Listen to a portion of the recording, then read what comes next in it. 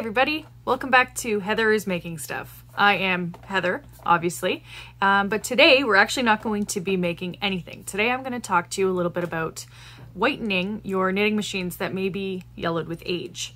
It's something that I've done about a year ago on a um, Singer SK155 knitter and ribber, both that I had that were extremely yellow. So if you've been following my blog or my Instagram, you've probably seen these photos before when I did that initially. Um, and I'm revisiting it again because I recently got a Brother 940 and uh, KR850, just trying to remember all the numbers, KR850 ribber that were a little bit yellowed as well. So there was a few more pieces that I wanted to do. So we are going to get into exactly how to do that in just a second. If you're going to look up information about the process before we begin, and I do encourage you to do that definitely, what you're looking for is called RetroBrite. There's a lot of information about it on the internet. Basically, there was someone who came up with this recipe for whitening these yellowed ABS plastics. It only works on ABS plastics, just to uh, tell you that right off the bat. So it's not going to work on every kind of plastic. It, for example, did not work when I tried to do my ribber covers, those little vinyl, I think they're vinyl, I'm not sure exactly, pieces that slide on to keep you from catching your sleeves on the ribber and stuff. Did not work on those, but it works great for the majority of the plastic that makes up the body of the knitting machine. So the, the carriage covers, it's worked on those for me. The plastic pieces at the sides, I'll show you those as well basically just about every other piece of plastic on the knitting machine seems to be ABS plastic, so it works really well. Why it happens, just a little quick background, is because those plastics have a chemical added to make them more resistant to fire. Ah! And for whatever reason, when it's exposed to UV light, that chemical causes the plastic to turn yellow. So it is very normal and it does not harm the machines at all, but cosmetically, it just for some people doesn't look as nice. Like for me, I want to make them look as shiny and new as possible. So I'm going to take you through how to do that right now. Let me show you an example of what I mean by yellowed.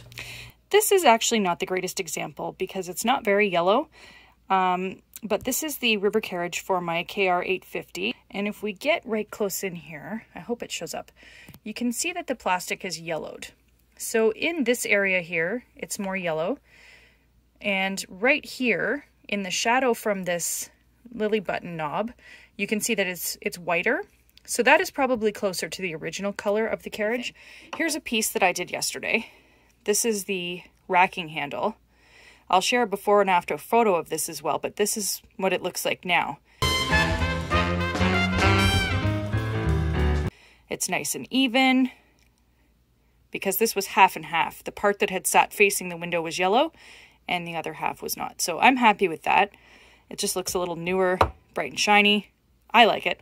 So I'm going to see what I can do for this carriage. And this is the ribber itself. You can see this right-hand side rack, or not side rack, side plastic bit is also quite yellow, especially when you compare it to the color of the 940 that it's attached to. It's, it's much more yellow.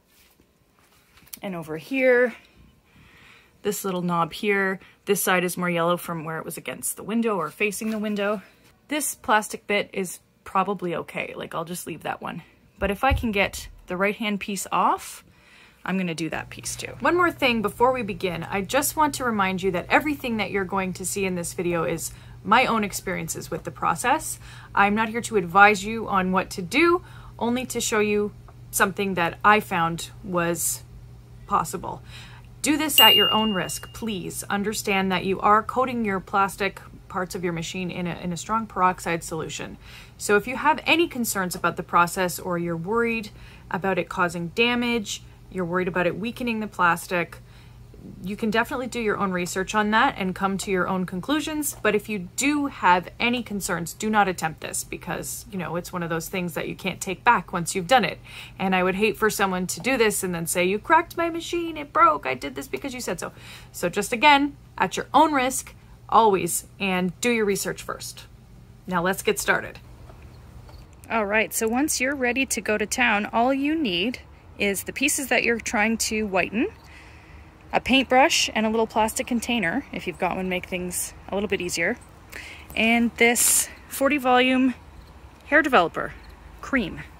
I got that at Sally's Beauty Supply. It's probably about $4. It wasn't expensive at all.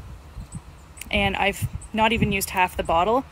And I've done an entire SK155 and ribber setup, as well as the KR7 and some other bits and bobs, the racking handle you saw yesterday as well.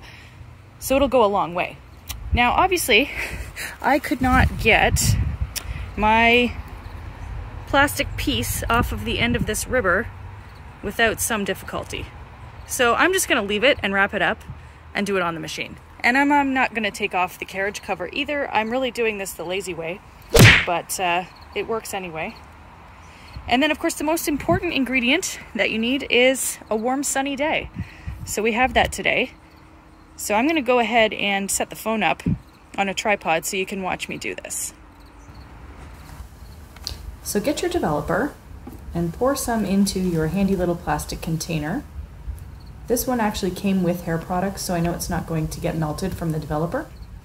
And take your paintbrush, and the process is essentially just paint it on to any of the sections that you want to whiten, avoiding areas where you don't.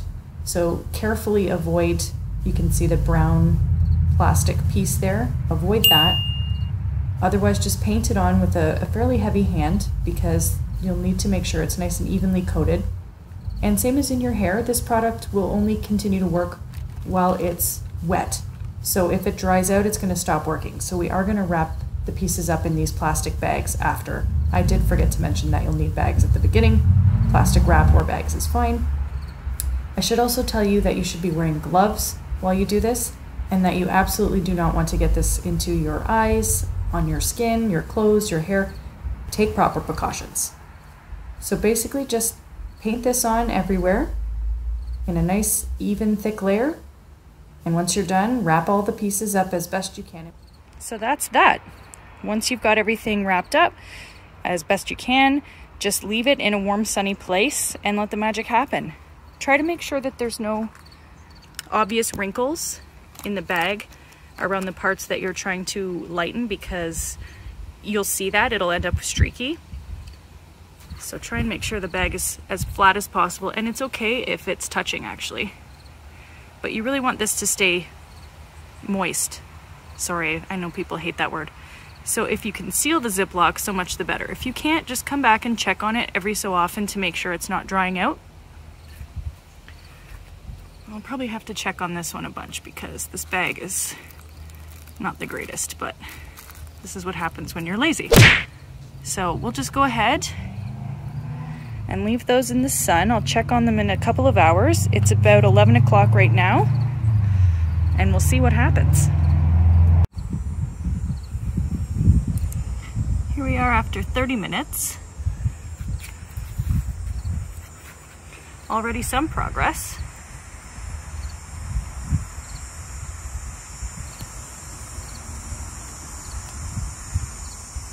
Still needs more time, but we're making progress. Here we are at about an hour 15. Going well. I'm going to reapply, I think, to this end of the ribber. The carriage is coming along really nicely because it's sealed better. So I just moved this flipper up to make sure there's no weird shadow marks, but I don't think I need to reapply there. That's coming along. And over here, this little knob, you can see looks great actually It's not quite done yet, but it's getting there. It's about 3 p.m. right now, so it's been about four hours since I initially put this out here. It's looking pretty good. I think that might be as good as we're gonna do. Um, I might leave this just a little longer just to see if we can get any more action on this side rack, but it's pretty pretty good. And if we come around, I keep saying side rack, it's not a side rack. Come around here. This little thing, I'm trying to keep my shadow out of the shot here. It's looking pretty good. That's, that's a really good result on that. So I'm definitely happy with that. The carriage actually went much faster because it's sealed in the bag. So I checked this several times and it was already pretty good, but I left it just a bit longer anyways. But I'm really happy with those. I think I might just reapply to the end side plastic piece here one more time, just see if we can get any brighter on that, but it actually does look like it matches the other side pretty well, so I might just leave it. And then I will clean it up and show you the final result. So here we are with everything cleaned up and back on the machine. And I think you'll be pleasantly surprised by how nice that looks. Because I know I am. This little knob, oops, nice and bright. Can't really see more of it than that. But that looks great, the whole carriage. And the side piece here, that's quite dramatic. Much closer in color to the 940 above. And it much more closely matches the left side, which wasn't, as you recall, wasn't yellowed that piece there. You remember its right side was pretty yellow and now it's not. So I'm really happy with that. The only thing I will mention, I'm pretty sure some of the peroxide got under this piece here and caused it to bubble. Um, probably because there's a glue under there holding on this little brown piece of plastic. So now, probably if I took the carriage cover off and did that properly, it wouldn't have been an issue maybe, but uh, I didn't. So that's what happens when you do things the lazy way. I thought I was trying to avoid it eh, as much as possible, but I must have got some that went underneath there. So bear that in mind if that's important to you. This I don't really care about, to be honest. And it could have just been the heat of being out in the sun for three hours, four hours in a bag that did it as well. Maybe it was even moderately like that before, but I don't think so. Um, I might try and pry that off and just clean out the old glue and glue it down again. Once I see maybe after it's been in the house cooling for a while, maybe it will contract. I'm not sure. So that is one thing to be aware of. Definitely try and keep the peroxide away from that. But otherwise, you can see how much of a difference it made. Just like a crazy difference on those little buttons. The side flipper was pretty yellow. So I'm really happy with that. I think it looks so much better. It looks much more matched in age to the 940, which isn't 100% either. Like there's some yellowing on the end of the 940, but I'm really happy with that. I think it looks much nicer. It doesn't look like it's nicotine stained, which for whatever reason drives me crazy. I'm not a smoker, but it bothers me. So I'm really happy with that. I would call this a success. If you have any questions or comments that you want to put in the comments below, feel free, and I will do my best to answer it as much as I can. As always, remember, your mileage may vary. So, you know, if you're not comfortable doing this or this is something that you think will damage your machine, please do not attempt it. this is my results only. Um, but if you do want to give it a go, good luck and I hope it works out. Thanks so much. Don't forget to like, share, and subscribe.